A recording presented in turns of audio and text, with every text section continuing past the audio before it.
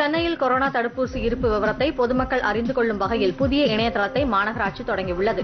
W W W dot Chennai corporation dot GOV dot IN slash GCC slash COVID details என்ற இணையதளம் மூலம் பொதுமக்கள் corona தடுப்பூசி செலுத்திக் கொள்ள வேண்டிய தங்கள் பகுதிக்குட்பட்ட மையத்தை தேர்வு செய்து அதற்கான நேரத்தையும் முன்பதிவு செய்து கொள்ள வசதி செய்யப்பட்டது. இது தவிர பூஜ்ஜியம் நான்கு நான்கு நான்கு ஆறு ஒன்று இரண்டு இரண்டு மூன்று பூஜ்ஜியம் பூஜ்ஜியம் என்ற தொலைபேசி எண்ணிலும் ஒன்பது நான்கு ஒன்பது ஒன்பது ஒன்பது மூன்று மூன்று ஆறு நான்கு நான்கு என்ற வாட்ஸ்அப் எண்ணிலும் முன்பதிவு செய்து கொள்ளலாம் என்று சென்னை மாநகராட்சி அறிவித்துள்ளது.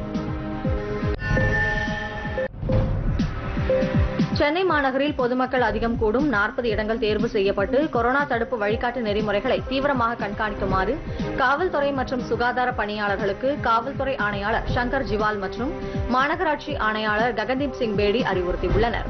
இன்று முதல் புதிய தளர்வுகளுடன் கூடிய ஊரடங்கு அமலுக்கு வந்துள்ளதால் சந்தைகள் பூங்காக்கள் கடற்கரைகள் உள்ளிட்ட பகுதிகளில் கூட்டம் சேர்வதை தவிர்க்க நடவடிக்கை எடுக்க வேண்டும் என்றும் கொரோனா தடுப்பு வழிகாட்டு நெறிமுறைகளை அனைவரும் கட்டாயம் பின்பற்ற வேண்டும் என்றும் பொதுமக்கள் கேட்டுக் கொள்ளப்பட்டுள்ளனர் சென்னை கடற்கரைகளில் ட்ரோன் கேமரா மூலம் மக்கள் நடமாட்டங்கள் கண்காணிக்கப்படும் என்று மாநகர காவல்துறை ஆணையாளர் சங்கர் ஜிவால் தெரிவித்துள்ளார்.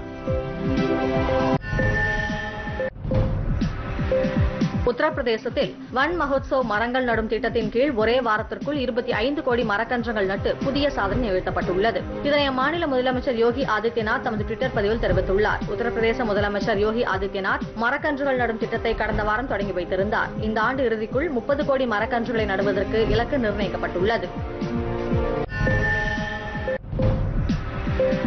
திருப்பூர் மாவட்டம் காங்கேயம் தொகுதிக்குட்பட்ட சாவடிப்பாளையம் அரசு ஆரம்ப சுகாதார மையத்திற்கு மருத்துவ உபகரணங்கள் வழங்கும் நிகழ்ச்சியில் செய்தி மற்றும் விளம்பரத்துறை அமைச்சர் மு பே சாமிநாதன் ஆதிதிராவிடர் நலத்துறை அமைச்சர் கயல்விழி செல்வராஜ் ஆகியோர் கலந்து கொண்டனர். இரு தனியார் நிறுவனங்கள் சார்பில் திருப்பூர் மாவட்டத்தில் உள்ள பனிரண்டு அரசு ஆரம்ப சுகாதார மையங்களுக்கு மருத்துவ உபகரணங்கள் மற்றும் மருந்துகள் வழங்கப்பட்டுள்ளன. ஒவ்வொரு மையத்திற்கும் தலா நான்கு லட்சத்து இருபத்தி ஐந்தாயிரம் ரூபாய் வழங்கப்பட்டுள்ளதாக தெரிவிக்கப்பட்டுள்ளது.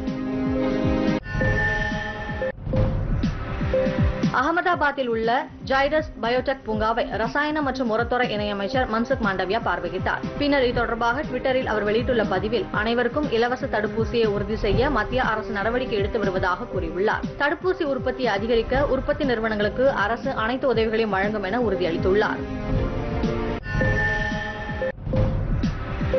ராஜஸ்தான் மாநிலத்தில் பழங்குடியினரின் வருவாயை அதிகரிக்கவும் மூங்கில் சார்ந்த பொருளாதாரத்தை ஊக்குவிக்கவும் வறண்ட நிலத்தில் மூங்கில் சோலை என்ற தனித்துவமான திட்டத்தை காதி மற்றும் கிராம தொழில்கள் ஆணையம் தொடங்கியுள்ளது. பாலைவன பகுதியை குறைக்கவும் வாழ்வாதாரத்தை அதிகரிக்கவும் பல்நோக்கு ஊரக தொழில் உதவி திட்டத்தை அந்த ஆணையம் தொடங்கியுள்ளது. அசாமிலிருந்து கொண்டுவரப்பட்ட இரு வகைகளை சேர்ந்த ஐந்தாயிரம் மூங்கில் கன்றுகள் சுமார் பதினாறு ஏக்கர் நிலத்தில் நடப்பட்டுள்ளன. இதன் மூலம் ஒரே நாளில் ஒரே இடத்தில் அதிக மூங்கில் கன்றுகளை நட்டு காதி கிராம தொழில் ஆணையம் உலக சாதனை படைத்துள்ளது. Música